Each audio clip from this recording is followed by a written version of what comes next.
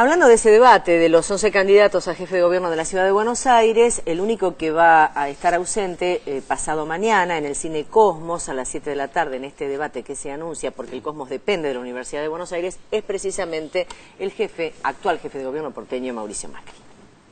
Dado esta propuesta a todos los candidatos a jefe de gobierno, excepto el actual jefe de gobierno que hoy nos confirmó que no va a asistir. Sin la presencia del candidato del PRO a la reelección, Mauricio Macri, el debate porteño se realizará el próximo miércoles a las 19 horas en el microestadio de la ciudad universitaria de la UBA, con la participación de 10 postulantes a jefe de gobierno de la ciudad de Buenos Aires.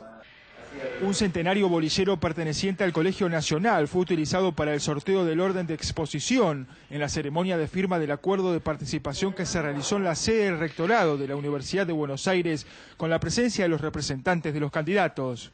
Bueno, una vez más, digamos, el jefe de gobierno de la Ciudad de Buenos Aires y candidato del PRO ha rehuido al debate. Ya nos pasó el miércoles último, independientemente de que era un debate parcial, que el que se había combinado en a dos voces, una vez que Filmus no, no participó tampoco o que no, no se presentó al debate, él no quiso debatir con Pino Solana. ¿Se va a desarrollar seguro en el mismo clima cordial que ustedes vieron hoy, que se hizo todo el, sorteo y que se trabajó en estas tres jornadas donde la UBA nos convocó de esta manera maravillosa y que esperamos que se repita en el futuro? El debate organizado por la UBA fue denominado Propuestas para la Ciudad. El encuentro va a durar dos horas, va a ser transmitido por la televisión, por streaming, como recién te decía.